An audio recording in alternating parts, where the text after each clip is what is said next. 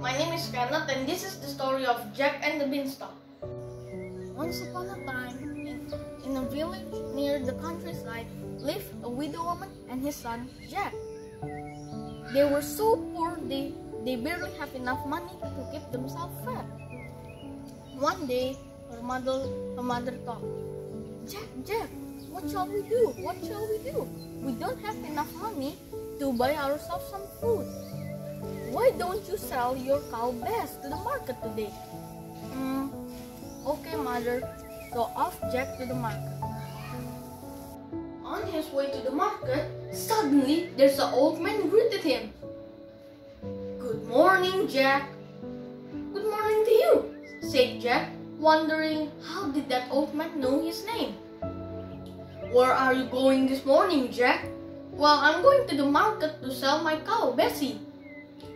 Hmm, don't you want to sell your cow to me? said the old man. Okay, how much do you want to pay? I'll pay you with three magical beans.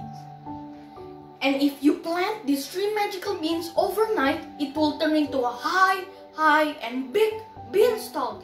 It is really high until it reaches the sky. Hmm, okay then. So, so Jack took the three magical beans and gave the cow to the old man. And then Jack went back home.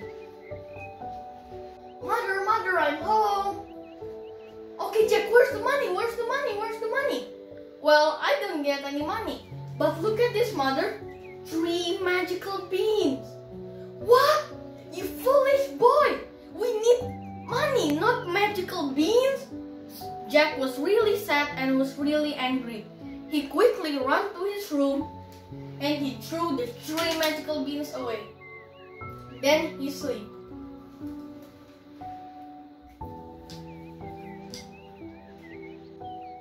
Oh. In the next morning, when Jack when Jack woke up, he, he realized that something strange in his room. He took a peek at the window and he was so surprised as he saw a really Jack quickly ran downstairs and he wants to climb the beanstalk.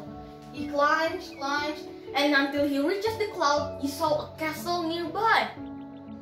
Jack walks towards the castle and suddenly a lady giant called him. The legend, the lady giant offers Jack uh, bread and some milk. Once Jack was eating the meal, suddenly there was a huge footstep. Doom. Jack quickly hid under the pot and and the giant came in. Doom, doom, doom. Wife, wife, where's my food? I'm so hungry. Give me my food. Okay, Dad. Just wait, don't don't need to be shouting me. So then the giant waited. Giant was finished eating his breakfast. And then Giant went to the closet to grab his hand and his golden harp. They, he put them in his bedroom. The hen can lay golden eggs and the harp can play a beautiful song. It's so beautiful then the giant went to sleep. Jack took a peek outside to see if the giant was asleep. He quickly ran and grabbed the golden harp and the chicken. As he was walking to the beanstalk, suddenly the chicken cackle, Cock, cock, that wakes up the giant. Whoa, whoa, you little boy, let me eat you, let me eat you. Jack quickly ran, ran down to the beanstalk. When he reaches down, he called his mom. Mom, mother, mother, help me, help me, quickly, give me an axe. His mother quickly rushed and gave Jack an axe.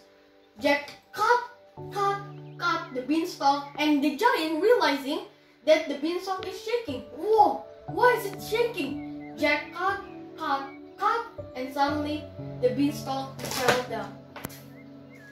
And now Jack and his mother live happily ever after. The end. Moral value of this story is if you have lots of money and rich, you can share them to the poor people, just like Jack and his mother. Thank you for listening.